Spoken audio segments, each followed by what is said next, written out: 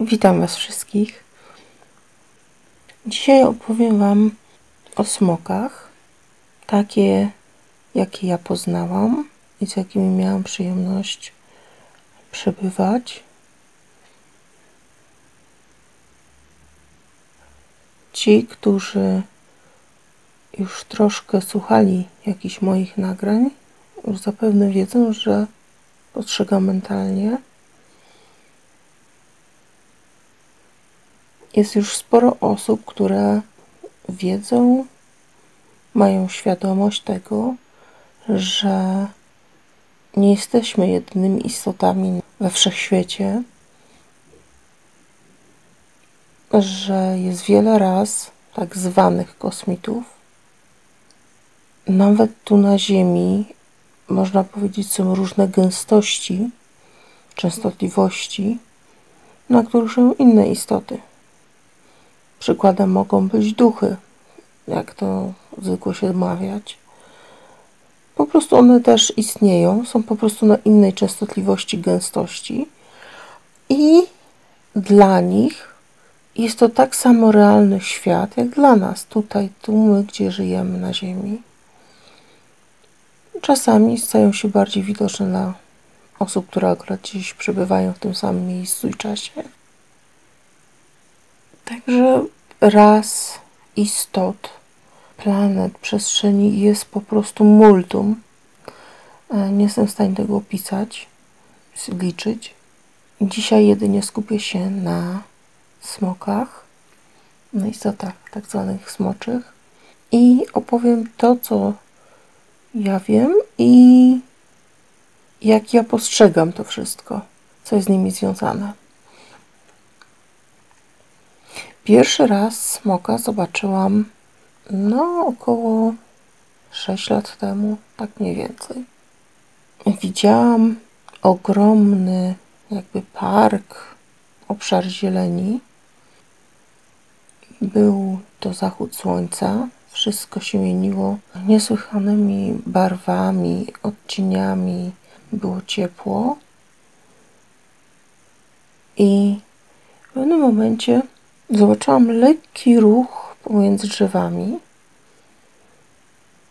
I tak zaczęłam się przyglądać, przybliżać, podeszłam bliżej i wtedy zobaczyłam, że w koronach drzew pierwsze, co w ogóle zobaczyłam, to było oko. I zaczęłam tak się przemieszczać boczkiem, boczkiem, tak żeby bardziej zobaczyć całą postać. Kiedy się bardziej zbliżyłam, zobaczyłam tak naprawdę pysk smoka. Tak naprawdę w koronach drzew to była tylko głowa. Był ogromny, zielony, że tak naprawdę jego kolor e, stapiał się w ogóle z drzewami, że tak naprawdę gdyby nie to oko, to nawet bym go nie zauważyła.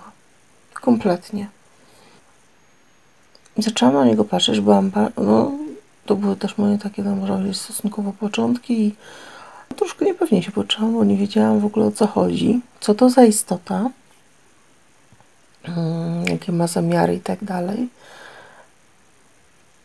Ten smok jakby obniżył głowę do mojego poziomu i tak, że praktycznie patrzyliśmy na siebie, na, na moje wysokości. I zaczęłam sprawdzać sercem, jakie intencje ma ta istota, jaką energię. I w momencie, kiedy zaczęłam sprawdzać, poczułam tak naprawdę ciepło, spokój od tej istoty. I w momencie, kiedy się, kiedy uzmysłowiłam sobie te emocje, jakie ta istota ma w stosunku do mnie, zobaczyłam, że w tych oczach nie ma żadnej agresji, nie ma żadnych złych zamiarów, tak naprawdę. I ta istota wtedy mentalnie mi pokazała, że wielokrotnie może być tak, że ktoś stoi dosłownie tak jak ja, obok praktycznie smoka, a się go nie widzi. Że tak naprawdę smoka widzimy wtedy, kiedy smok chce być zobaczony.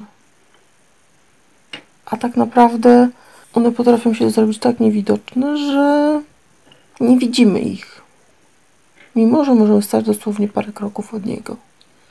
To była smoczyca się w ogóle po chwili okazało. Jak zaczęłam się przyglądać, pozwoliła się pogłaskać, dotknąć po, po głowie. To, jak, jak ja zaczęłam głaskać jej głowę, jak zaczęłam mrużyć oczy i, i w ogóle sprawiało jej to przyjemność, tak samo mnie ogromną. W ogóle był niesamowicie płynny, lekki przepływ energii. Takiej miłości, spokoju, ciepła. Dosłownie czułam się tak, jakbym głaskała e, psa. Dosłownie tak samo przyjazne, naturalne zachowanie było. W ogóle zero jakichś, e, nie wiem, obaw, czy, czy... Nie, absolutnie. W momencie tylko, kiedy poczułam sercem tą istotę, już nie miałam żadnych tam obaw w stosunku do niej. I tak naprawdę spędziliśmy razem wtedy około kilku godzin, gdzie rozmawialiśmy. Zadawałam mnóstwo pytań. Tak naprawdę smoki e, są na Ziemi, ale jakby na innej gęstości właśnie. I one potrafią się pokazać jakimś osobom, ale tak naprawdę to bardziej to one decydują kiedy i komu. Nie jest to aż tak często, jakby się mogło zdawać. Są tak samo, wtedy się dowiedziałam, zadałam takie pytanie, gdzie o tym wcześniej nic nie czytałam, nic nie wiedziałam, ale tak zadałam takie pytanie, bo już wiedziałam, że są różne istoty, rasy, w sensie, E, które się wcielają tu w formie ludzkiej. I się zapytałam, czy są dusze, które na przykład były smokami i czy na przykład wcielają się w formie ludzkiej tutaj, na ziemi.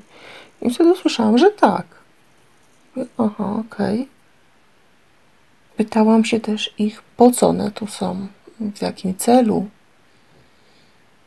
Przede wszystkim one jest tutaj w ogóle dużo raz istot, które pomagają. Każdy ma powiedzmy jakiś swój obszar działania w sensie dziedziny, tak jakby.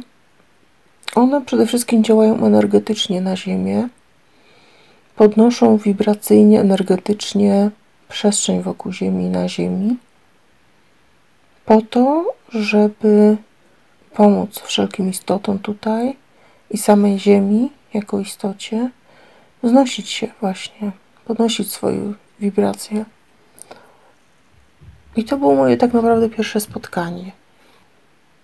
Aha, wtedy jeszcze, właśnie, wtedy jeszcze ta smoczyca mi pokazała, bo ja ją zapytałam, no, no, no ludzki rozum, no wiadomo, przyznaję się.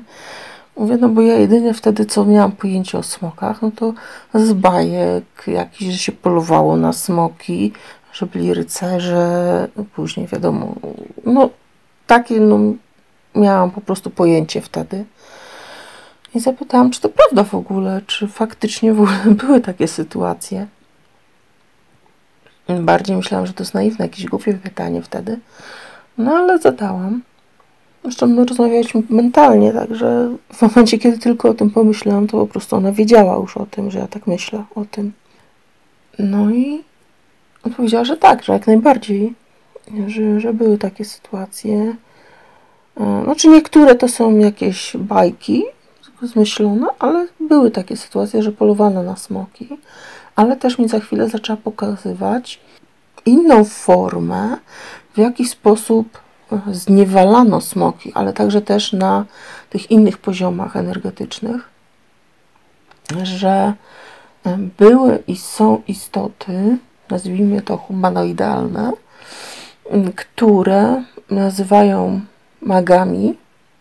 I ci magowie bardzo często zniewalali magią właśnie smoki. Oni wręcz e, bardzo pragnęli posiadać smoki, właśnie zniewalać je i posiadać, wykorzystywać do własnych celów zazwyczaj złych.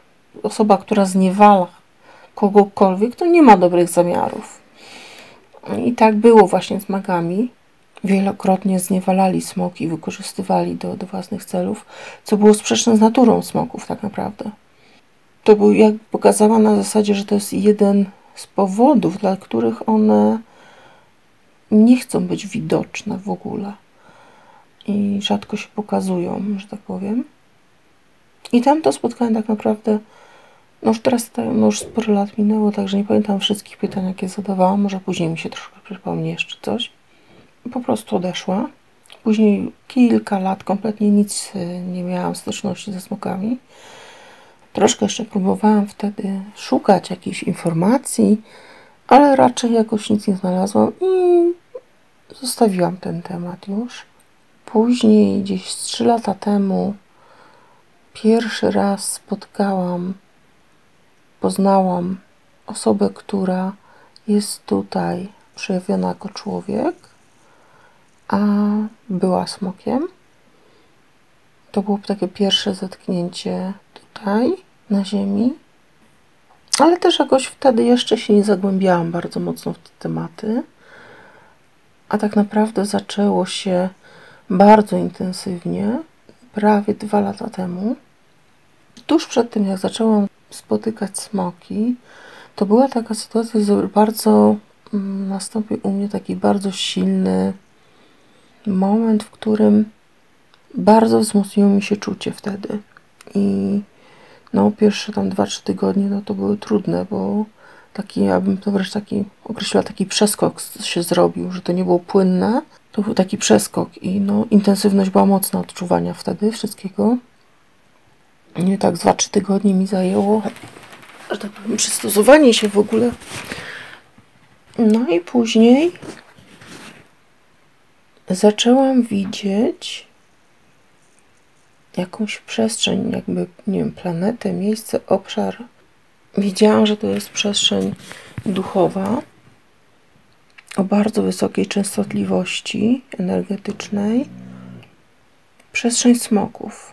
Widziałam, jak latają, jak żyją, jak się bawią, jakie mają relacje między sobą. Ludzkim pojmowanie, myśmy to wręcz nazwali takim rajem smoków. Tam nie było żadnych e, złych emocji, intencji. Tam wszystko było oparte na miłości, na równowadze, na szacunku, współistnieniu. Tam każdy do każdego miał szacunek, do, do każdego były tam i góry, i właśnie wodospady, masa różnej roślinności. Powietrze cało mieniło się takim jakby brokatem aż, takim energetycznym. Powietrze było niesłychanie miękkie, ciepło. Smoki tam miały różne kolory. Nawet nie jestem w stanie opisać. Tam było to nie to, że wszystkie wyglądały tak samo były jakby w różnym wieku, byśmy to określili, w różne rodzaje, różne, różnej budowy, różnego kształtu, różnego koloru, struktury, tak jakby i, i pseudołusek, i, i takie tkanki, i, i piór. No, bogactwo tych rodzajów było po prostu, no, nie jestem w stanie tego opisać ale wszystkie po prostu żyły razem ze sobą. Był to bardzo duży obszar. Ktoś może to nazwać o planetą, ja to nazywam przestrzenią. No to jest kwestia nazwy. I to pierwszego, pierwszego razu zobaczyłam właśnie dwa lata temu e, tą krainę. I później tak naprawdę codziennie, codziennie e, poznawałam coraz więcej szczegółów, widziałam coraz więcej szczegółów. I to trwało tak bardzo intensywnie, no, z 5 miesięcy praktycznie, gdzie poznawałam te smoki. I tam te smoki, które właśnie miałam przyjemność poznać, one nie mają żadnych zapędów do dominacji, agresji, e, czy, czy wojen, czy zniewalania. Absolutnie nie. W ogóle nie ma takiej opcji tam. Nie ma, po prostu w nich nie ma czegoś takiego. Kompletnie. Są to bardzo czyste, bardzo ciepłe istoty i bardzo dobroduszne. Czułam się pośród nich bardzo dobrze, bardzo bezpiecznie, spokojnie. Tam niemalże w powietrzu czuło się po prostu radość, szczęście. To jest. Tutaj na Ziemi nie mamy takich, takich, takiego odczuwania, bo no, gdzieś tych ciężkich emocji, energii jest u nas tak dużo, że naprawdę większość z nas tęskni za takim, nazwijmy to rajem, domem, jak to marzymy, niebem. A tam to jest normalne właśnie, że tak jest po prostu. Z czasem też mi pokazywano, bo też zadawałam pytania odnośnie właśnie takiego, no bo już wtedy wiedziałam o reptilianach, o, o tak zwanych gadzich rasach, no, które no, nie są przyjazne, delikatnie rzecz ujmując. Zadawałam te pytania. I wtedy mi też pokazywano i tłumaczono, że reptilianie to jest zupełnie jakby inny temat, że to są zupełnie inne istoty, że owszem, są smoki, były, które na drodze własnego doświadczenia, można powiedzieć, tak się zdegradowały, obniżyły swoje wibracje, że zaczęły współpracować i jakby przeszły na stronę także reptilian, i, i, ale, ale to była ich ścieżka doświadczenia po prostu. I to nie było ich pierwotną naturą, że tak powiem. To był ich wybór, po prostu na ścieżce doświadczenia, tak jak my doświadczamy tutaj, to po prostu był ich świadomy wybór. I są istoty tak jak oni, że wybierają bycie właśnie w tych wysokich energiach, e, emocjach czystych, pokojowych, a są istoty, które po prostu zaczynają przejawiać inne cechy i z czasem potrafią się nawet zdegradować właśnie do poziomu takiego jak reptilianie. I oczywiście są reptilianie i oni, no, nie podlega dyskusji, że mają bardzo no, negatywne intencje wobec nas.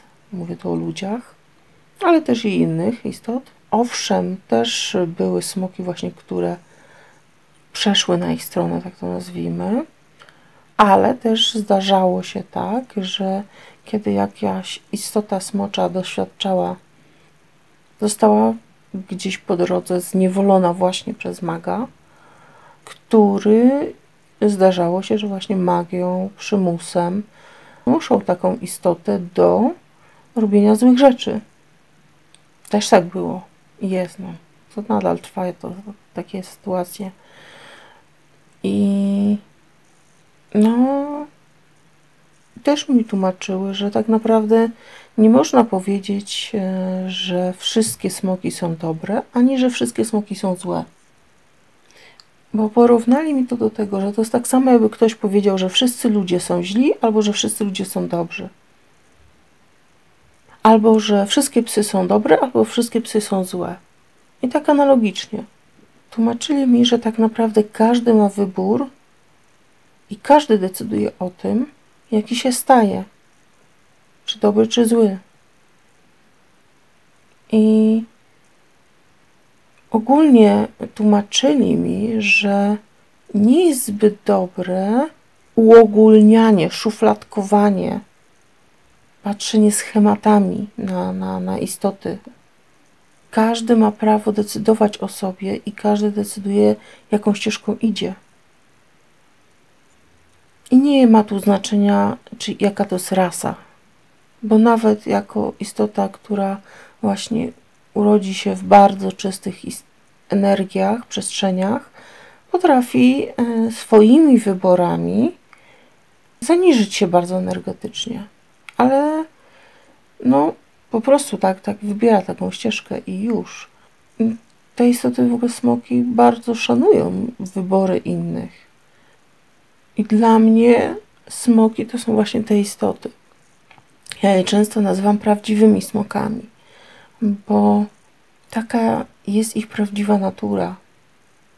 To, że wyglądają dla nas, ludzi, którzy mamy pewne schematy z bajek, z opowieści, takie pojmowanie, że jak tak coś wygląda, to to już jest złe, bardzo krzywdzące dla tych istot, bo no tak nie jest, po prostu tak nie jest.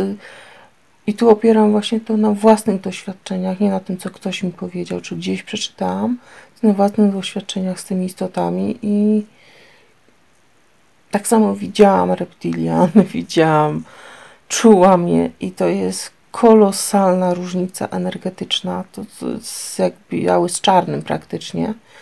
To jest, to nawet nie ma co porównywać, bo to jest no, skrajność praktycznie. Tak naprawdę wszyscy powinniśmy otworzyć się, swoje postrzeganie i nauczyć się patrzeć na każdego sercem, a nie oczami, schematami, bo to jest tak naprawdę najważniejsze. Nie ma znaczenia, jak, um, jaki ktoś ma wygląd, y, ubiór, rasa. Jeżeli patrzymy sercem, to po prostu wiemy, kim ta istota jest, jakie ma wobec nas zamiary. I już. Dla mnie smoki są to, mówię tu o prawdziwych tych smokach, jak ja to ich nazywam, bardzo czyste, bardzo dobre, bardzo szlachetne istoty, które przede wszystkim służą, pomagają innym istotom, także ludziom Ziemi. Bardzo się cieszę, że miałam możliwość je poznać, obcować z nimi. I tak jeszcze na koniec dopowiem, że pierwszy raz usłyszałam, jak ktoś mówi o tych przestrzeniach, właśnie jak Aaron w nagraniu mówi, podlinkuję e, w nagraniu tam u mnie w opisie ten link, bo on tam opowiada głównie jakby trochę o innej przestrzeni smoków, które ja znam. On tam tylko wspomina przez momencik e, o tych smokach, które ja znam, bo on tam wspomina właśnie, że jest jeszcze inna, jakby nazwijmy to, grupa smoków, poziom smoku, no to coś takiego, które potrafią płynnie świadomością tylko i wyłącznie zmieniać się kształtem z humanoidalnej w smoczą. Ja właśnie z tymi smokami przebywałam, z tymi obcowałam i, i te znam. I, a on jakby poznał troszkę inną grupę smoków, które same z siebie jakby wytworzyły dwa ciała jednocześnie i smocze i ludzkie i pomiędzy nimi świadomością przemieszczają się. To jest tak jakby troszkę inna grupa smoków. Mm, I on tam bardzo dobrze, bardzo szczegółowo opisuje tę, tamtą przestrzeń, tamtą krainę, planetę, no, jak tam zwał, tak zwał. I, I pierwszy raz usłyszałam, żeby ktoś tak dokładnie opisywał to. To nagranie jest takie bardzo ogólne, takie zarysowe, żeby tylko naświetlić temat smoków, być może kiedyś e, zrobię bardziej szczegółowe już nagranie. Ale powiem Wam, że szczerze bardzo się cieszę, bardzo e, raduje się me serce, że ktoś zaczął mówić o tym, że mam nadzieję, że świadomość ludzi zacznie się zmieniać. Będą mieli ludzie okazję poznać te smoki i, i być może kiedy się otworzą na postrzeganie sercem, może tak się stanie i naprawdę każdemu tego życzę, bo to jest coś cudownego. Także pozdrawiam Was wszystkich. Bardzo serdecznie zbliżają się w ogóle święta Bożego Narodzenia, także życzę wszystkim wesołych świąt. Jeszcze raz wszystkich pozdrawiam.